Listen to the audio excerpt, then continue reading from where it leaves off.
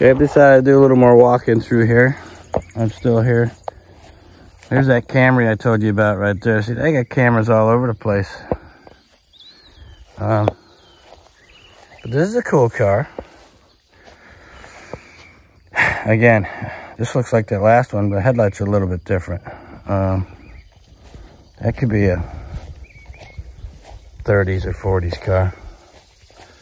Got the humpback. And it could be a 41, because the one I looked at in Hartwell was a 41 and it had this like hump looking thing in the back. Of course, they didn't have a trunk in there. They had it all sealed up.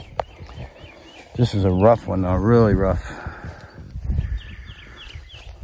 Really rough car here. Well, yeah.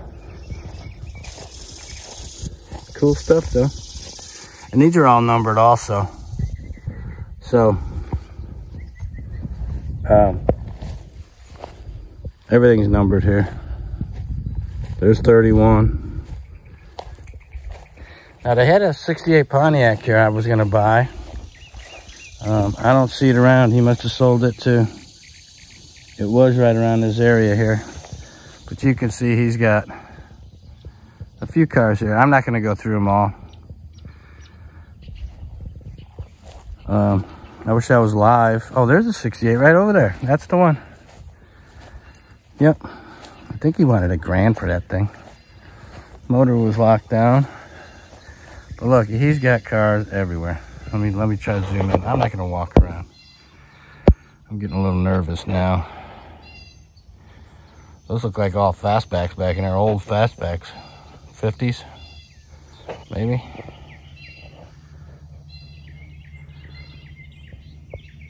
His prices were kind of high back eight years ago when I was here last, but uh, and that's probably why he he hasn't sold much. Um,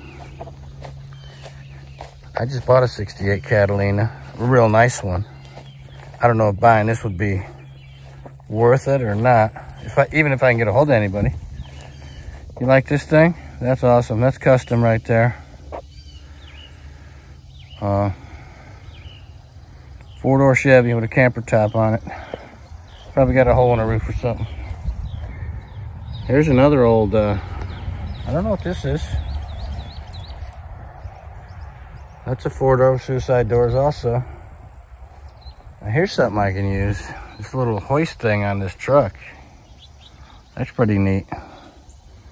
Oh, here's another Catalina. That's a 60s. Uh, three, four, maybe.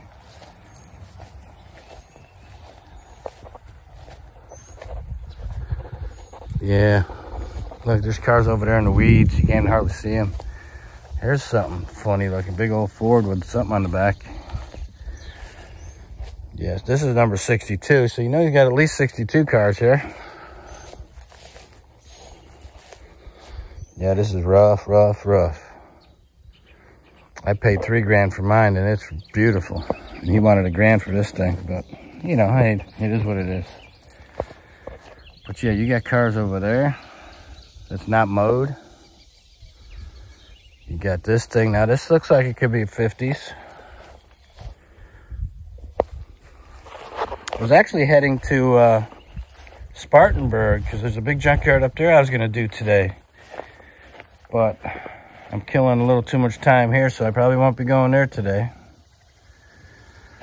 I go home and do some editing with this uh, footage.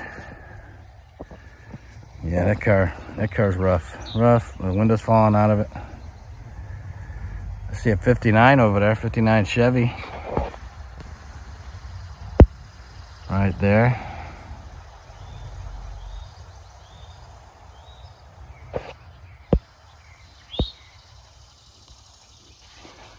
Yeah, that's cool stuff. Let's see what we got over here if we can try to see anything. Now I know he had a lot more cars in here. All this was full, side by side all the way through here. There's an old one down there.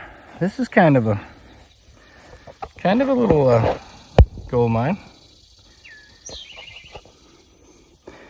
Sorry, I'm videotaping into the sun, but I'm not about to crawl through that grass. But yeah, look at these things. This is awesome. Know, I, I know, I know I can get in trouble for this. I just know it.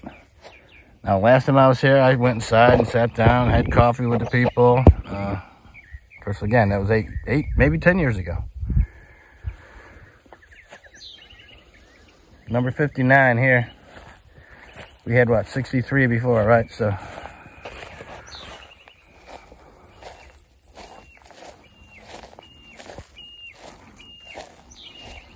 old Chevy right here.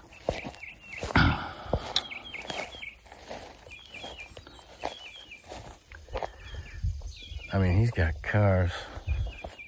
I mean, there's, you know, there's probably a hundred cars here because I, cause I know there's more weighing down in the back too.